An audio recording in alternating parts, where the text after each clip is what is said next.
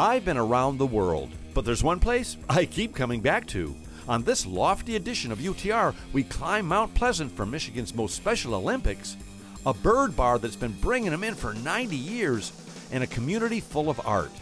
Heck, we'll even capture some Korean cuisine and culture.